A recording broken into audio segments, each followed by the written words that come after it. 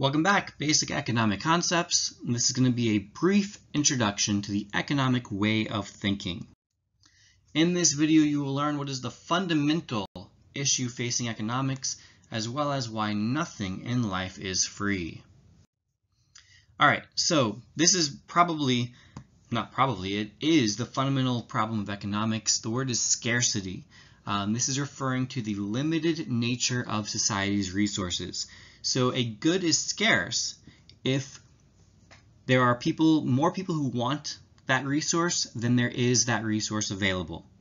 Whenever people want more of a resource than is currently available, we would say that that resource is scarce. Now, why is that the fundamental problem? Well, because of that scarcity, because there are more people desiring the resource than there are resources available, we have to make choices. And again, if you recall from the first video, economics is the study of choice. So because of scarcity, because we can't all have everything we want because there's not enough resources for that, we have to make choices. Um, so this is the fundamental problem of economics. If things weren't scarce, there would be no need for us to make those choices or those trade-offs because we could have everything. Now, in harmony with that, we have the term trade-off. The trade-off is the idea that we must give up one thing to get something else. So usually in life, we think of, because we buy things using money most of the time, our trade-off is, all right, I can have this $5 bill or I can have lunch today. If we want lunch, we have to trade the $5 bill. If we'd rather have the $5 bill, then we don't make that trade-off, but we give up eating lunch today. So again, there's always a trade-off. We have to give up one thing to get something else.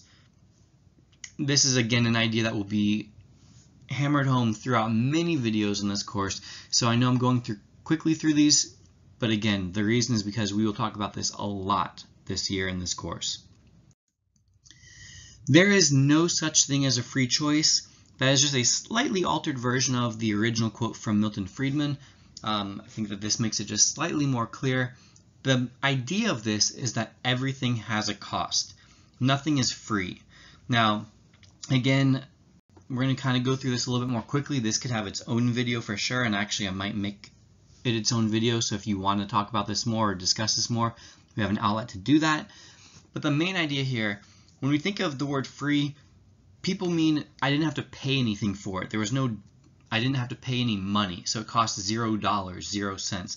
That's what people mean when they say something is free. So if I give you a free lunch, free piece of pizza, you didn't have to pay me money for it, you consider that free. The idea here, though, is that everything has a cost. The question would be, what did you have to do to get that pizza?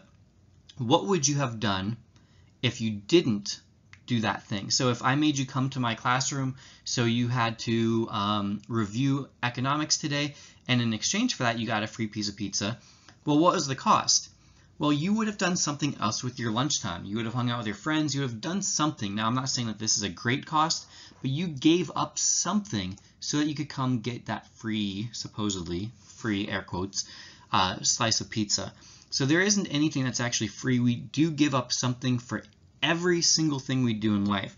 And if you're not convinced yet, again, like I said, I'll make another video to really go into that idea in more detail. But for the sake of this video, it's really all I'm going to say about that idea at this moment. Another hugely important idea, in fact, I would say it's the most important idea in economics, is that of opportunity cost. And again, I do have another video that's solely about this, so you can go check that out. It's one of the economic reasoning principle videos.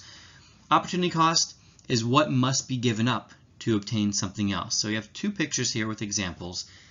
And we have, all right, so let's do the one on the left. You have a girl here who says she's choosing between two things, an iPhone 4, so this is a little bit old, and some Uggs. Says her text bubble says, I chose the iPhone. So that was her choice. She decided to use her money to get an iPhone. And then she very astutely says, the Uggs are my opportunity cost. So what she's saying is, because I got the Apple, the iPhone, I'm sorry, I couldn't get the Uggs. That's what she gave up. That's the thing she would have used her money for. If she didn't buy the iPhone, her next best option was getting Uggs. So that's her opportunity cost. Again, notice that her opportunity cost isn't everything else on earth she could have bought with that money, Rather, it is the single thing what she would have done with that money. In this case, she would have bought Uggs, so that is her opportunity cost. The example on the right, John chooses to study for his exams. That's his choice.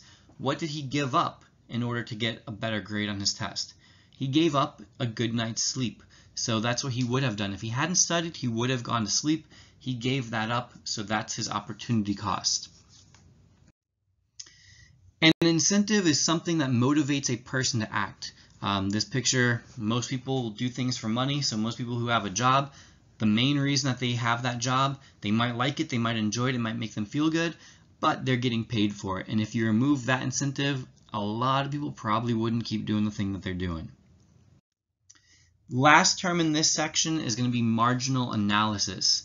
Um, again, there's going to be an entire unit about this, so I don't feel the need to go over this in huge detail now.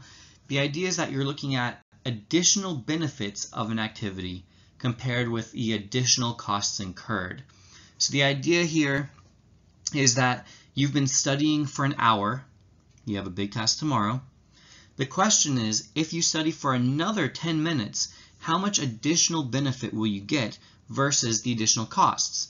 The additional benefit is, well, how much is your grade going to improve because of that 10 minutes of studying, the additional 10 minutes of studying? The cost is, well, again, that's another 10 minutes that you're giving up whatever it is that you would rather be doing. So you have friends that are waiting for you.